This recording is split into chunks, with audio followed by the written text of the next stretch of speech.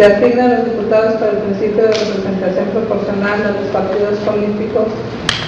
mencionados en el considerando octavo, numeral 6 de esta ejecutoria, en los términos que se indican. Se ordena al Consejo General del Instituto Electoral de Tamaulipas en el término de 72 horas siguientes a la notificación de esta sentencia, expida y entregue las constancias de asignación de diputados de representación proporcional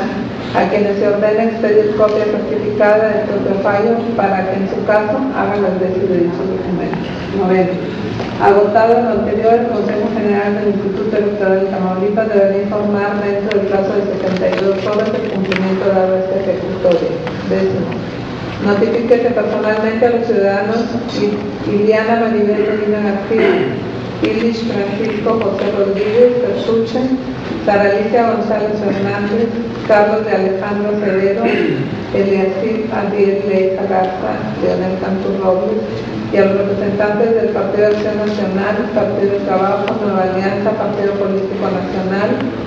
Partido de la Revolución Democrática y el Partido Revolucionario Institucional, en su carácter de actores de terceros interesados, según sea el caso, en los domicilios que obran en autos, así como por oficio acompañando copia de la presente resolución al Consejo General del Instituto Electoral de Tamaulipas. Una vez que cause estado la resolución, pues archive el presente expediente como asunto total y definitivamente concluido. Así lo resuelven y firman por unanimidad de votos los magistrados presentes que integran el del Tribunal Electoral del Poder Judicial del Estado ante el secretario general de Pueblos que no se